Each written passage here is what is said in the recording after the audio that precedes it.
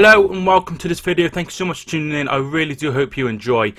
Some really, really sad news and, and, and worrying news has come out recently from Cardiff City. So they signed Emiliano Sala yesterday and he travelled back um, to watch his side uh, Nantes play.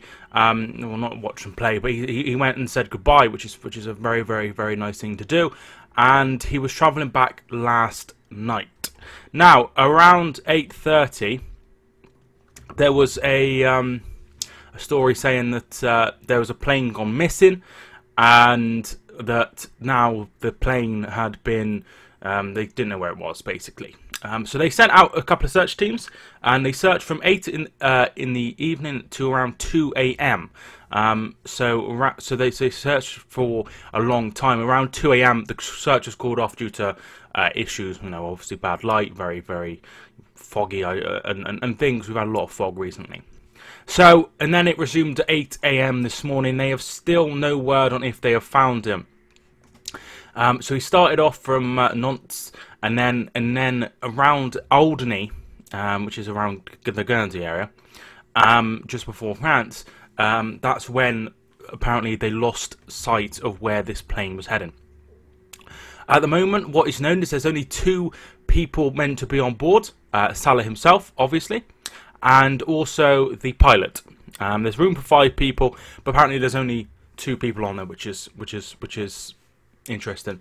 Um, so as I say, the search was terminated. They've been looking for around eight to ten hours now, and it's it is really really concerning, really concerning. Um, he was meant to be at training this morning, and he has uh, obviously not arrived as you would expect. Um, he flew back to say uh, goodbye and sort out his personal affairs and things, and then he he posted uh, yesterday saying um, goodbye uh, to his teammates and that is the last thing he posted on Twitter. He was expected back Monday, uh, so last night, but obviously he hasn't come yet, and they're just carrying on as normal. It's it's a worrying situation. The fact is, the plane's gone.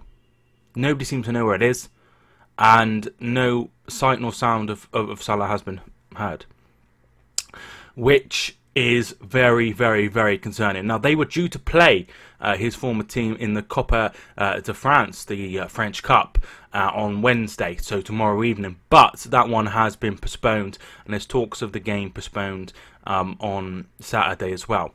He cost 18 million pounds, which is a club record fee, and he's scored a lot of goals in the French league. And uh, yeah, I, I think he'd have done very, very well. But there's just no word on anything at the moment. So I, I thought I'd give you a little, a little bit of an update. Um, really, really concerning. I hope everything is fine. Um, and, and there's just been some sort of misunderstanding. Uh, and he's not been able to get on his phone or something. Um, hopefully that's all it is. Um, but it is really concerning. They're still looking, the Guernsey police are still looking for the craft. Um, Cardiff chairman uh, Mehmet uh, Dalman, he's come out and said, We are awaiting confirmation before we can say anything further. We are very concerned about the safety of Emiliano Sala. Now, I will be updating this video further down the line. Uh, if there is any news whatsoever, I will cover it on the channel. Um, so this is the statement that Guernsey Police said. Guernsey Coast Guard received an alert at uh, 20 past uh, 20 past 8 in the evening that a light aircraft had gone off their radar approximately 15 miles north of Guernsey, indicating a major search and re rescue operation involving the St. Peter Port and Alderney lifeboats.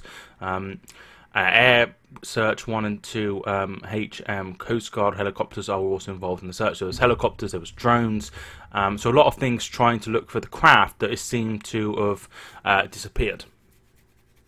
It's it is very very concerning the fact nobody's heard of him. Um, very concerning.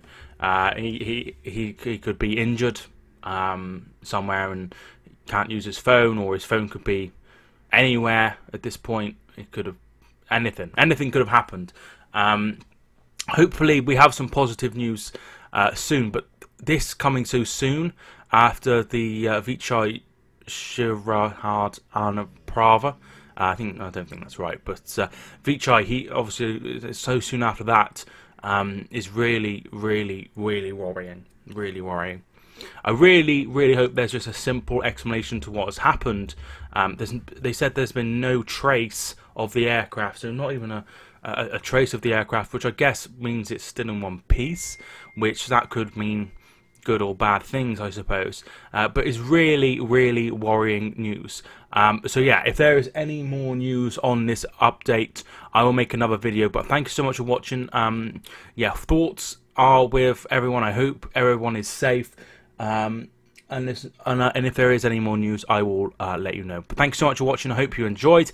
Uh, yeah, the the background's back. Sorry, it's a bit of a mess, but I, I much prefer it. So thanks so much for watching. I hope you enjoyed. My name is Mike, and I will see you soon.